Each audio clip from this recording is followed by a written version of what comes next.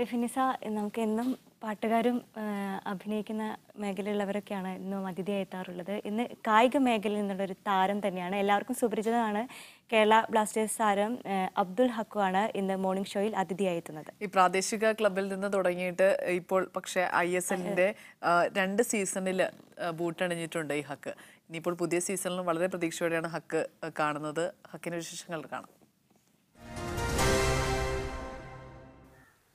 Kerala Blasters താരം മലപ്പുറം തിരൂർ സ്വദേശി അബ്ദുൽ ഹക്കുവാണ് ഇന്ന് മോർണിംഗ് ഷോയിൽ അതിഥിയായി ചേരുന്നത്. സ്വാഗതം മോർണിംഗ് ഷോയിലേക്ക്. ഈ പ്രൊഫഷണൽ ഫുട്ബോൾ മേഖലയിലേക്ക് അബ്ദുൽ ഹക്കു കടന്നു വന്നിട്ട് കുറച്ച് കാലമായി. വളരെ സമീപകാലത്തുമാണെങ്കിൽ പോലും അതിനുള്ള വിശാലമായ അവസരങ്ങളിലേക്ക് വന്നിട്ടുണ്ട്. എങ്ങനെയായിരുന്നു ഈ പ്രൊഫഷണൽ ഫുട്ബോൾ മേഖലയിലേക്കുള്ള വരവ് എങ്ങനെയായിരുന്നു?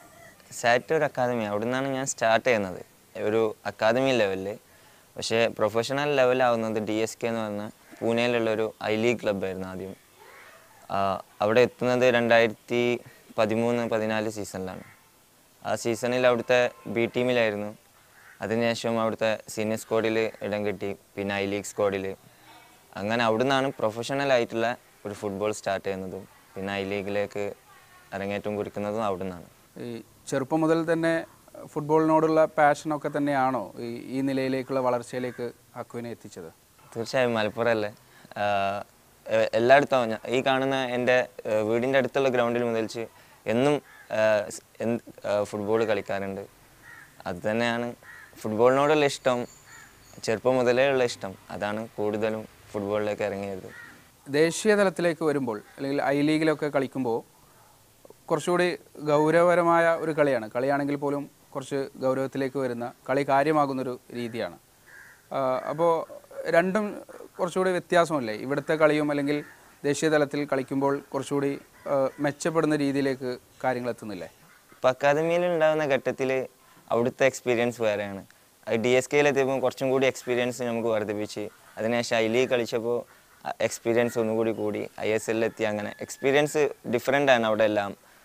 അപ്പോൾ ഒരുപാട് വ്യത്യാസ വ്യത്യസ്തത ഉണ്ട് academy to I S L എല്ലായിടവും കളിക്കുന്നത് നമ്മ നമ്മുടെ എക്സ്പീരിയൻസ് ആണ് വർദ്ധിക്കുന്നത്. അതോടുകൂടെ നമ്മൾ ഫുട്ബോളിന്റെ ടാക്ടിക്സ് ഗെയിം പ്ലാൻ എല്ലാം മാറുന്നുണ്ട്. ഐ ലീഗിലേക്ക് ആദ്യം അരങ്ങേറ്റം കുറിക്കുമ്പോൾ ഒരുപാട് സന്തോഷമായിരുന്നു. കാരണം ഒരു ടി വി ചാനലിലല്ലേ നമ്മളെ നാട്ടുകാരൊക്കെ കാണുന്നത്.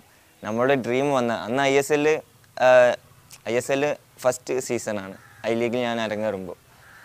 ഐ എസ് എൽ കത്തി നിൽക്കുന്ന ടൈമുമാണ് അങ്ങനെ ഐ ലീഗിൽ അരങ്ങേറ്റം കുറിച്ച് ഒരുപാട് ഹാപ്പിയായി വീട്ടുകാരും ഹാപ്പിയാണ് കാരണം നമ്മുടെ നാട് അറിഞ്ഞു.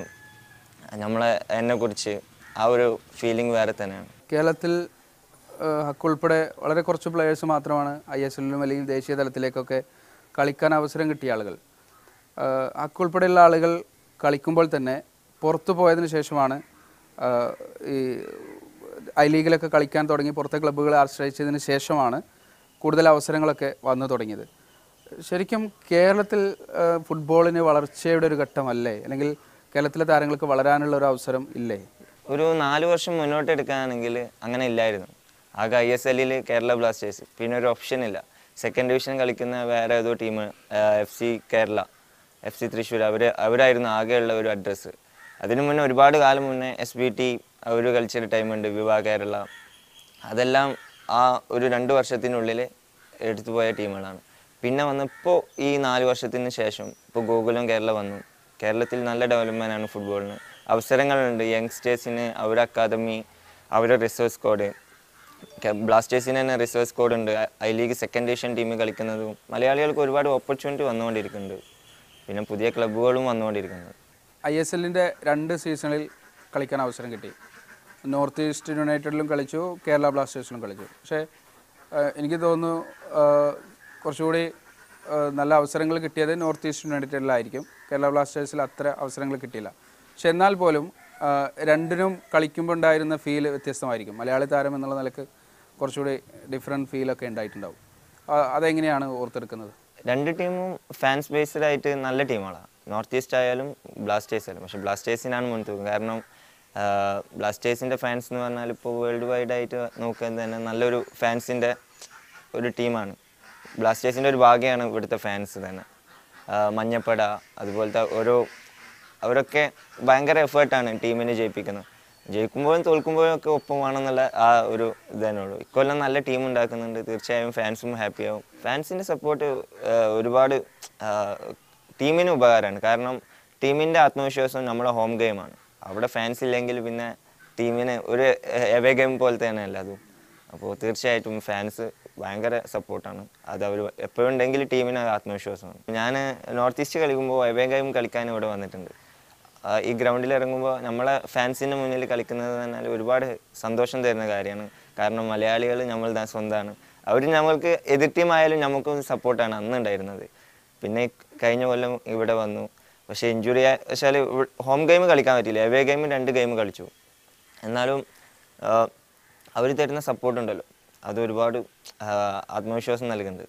നമ്മൾ കളിക്കുന്നത് ഐ എസ് എൽ ആണ്. അപ്പോൾ കെ എഫ് എ ഫുട്ബോളിനായിട്ടുള്ള കണക്റ്റഡ് ആയിട്ടില്ല. പിന്നെ കെ എഫ് കെ പി എല്ലൊക്കെ വരുന്നത് കൊണ്ട് കൂടുതലും ഒരു ടീമിന് ഇപ്പോൾ ഞാൻ കളിക്കുന്ന സാറ്റ് ഉണ്ട്. കളിച്ചിരുന്ന സാറ്റ് അവർ കെ പി എല്ലിൽ കളിക്കുന്നുണ്ട്. അതൊരു നല്ല ഓപ്പർച്യൂണിറ്റിയാണ് അതുപോലത്തെ അക്കാദമി കെ പി എല്ലൊക്കെ വന്നതുകൊണ്ട് ഒരുപാട് ക്ലബ്ബുകൾ വന്ന് ഒരുപാട് പ്ലേയേഴ്സുകൾക്ക് വളരാനും സാധിച്ച് ഇപ്പോൾ ഇന്ത്യൻ ഫുട്ബോളിൽ ശ്രദ്ധയാകർഷിക്കാനും ഇപ്പോൾ ഇവിടുന്ന് കളിച്ചിട്ട് പുറത്തെ ക്ലബ്ബുകളിലൊക്കെ എത്തിപ്പെടാൻ സാധിക്കുന്നുണ്ട്. സമീപകാലത്ത് ഇപ്പം നേരത്തെ അക്ക് സൂചിപ്പിച്ചതുപോലെ കേരളത്തിൽ കൂടുതൽ അവസരങ്ങൾ വരികയാണ്. ഗോകുലം എഫ് സി ഉൾപ്പെടെയുള്ള ക്ലബ്ബുകൾ വരുന്നു അല്ലെങ്കിൽ പ്രാദേശികമായിട്ട് അക്കാഡമികൾ വരുന്നു. മാത്രമല്ല മലപ്പുറത്തും വിവിധ ഭാഗങ്ങളിലും ഒക്കെ കാണുന്ന കാഴ്ച എന്ന് തന്നെ പറയുന്നത് കൂടുതൽ ഫുട്ബോൾ ടർഫുകളൊക്കെ വന്നുകൊണ്ടിരിക്കുകയാണ്. നിരവധി കുട്ടികളൊക്കെ ടർഫുകളിൽ കളിക്കുന്ന ഒരു കാഴ്ച കൂടിയുണ്ട്. മുമ്പത്തേതിനേക്കാൾ വ്യത്യസ്തമാണ്. കേരളത്തിന്റെ ഫുട്ബോൾ വളർച്ചയ്ക്ക് ഒരുപക്ഷെ പുതിയ കാലത്ത് കൂടുതൽ സൗകര്യങ്ങൾ ഉണ്ടാവുകയല്ലേ? മലപ്പുറത്തിനെ അപേക്ഷിച്ച് ഫുട്ബോൾ ടർഫ് വന്നുകൊണ്ട് മാത്രമല്ല ഫുട്ബോൾ ഇവിടെ സെവൻസ് ഫുട്ബോൾ ഉണ്ട്. ഒരു പാടുണ്ടെങ്കിൽ ആരും പോയി കളിക്കും ഇവിടെ.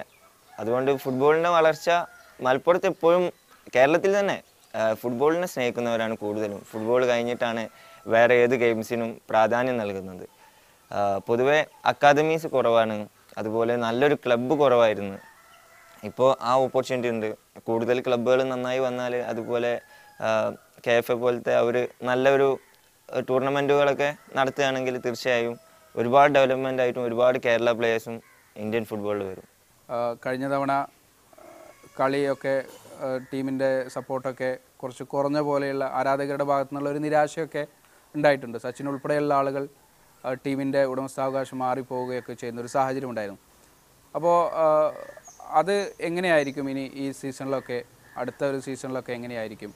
ആരാധകരുടെ പ്രതീക്ഷയൊക്കെ അനുസരിച്ച് ഉയരാൻ കഴിയുമെന്ന് തന്നെയാണോ വിശ്വാസം?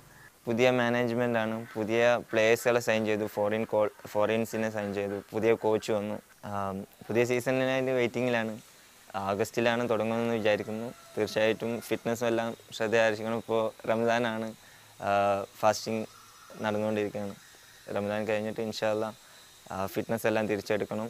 നല്ലൊരു കഴിഞ്ഞ വർഷത്തെ പോലെയല്ല പുതിയൊരു വർഷം നല്ലൊരു വർഷമാക്കാൻ ശ്രമിക്കും തീർച്ചയായിട്ടും. എന്തായാലും കൂടുതൽ വിജയങ്ങൾ ആശംസിക്കുകയാണ്. പുതിയ സീസണിൽ ഏറ്റവും ഉഷാറായി നല്ല പെർഫോമൻസോടുകൂടി എല്ലാവിധ ആശംസകളും നേരുകയാണ്. നന്ദി നമസ്കാരം.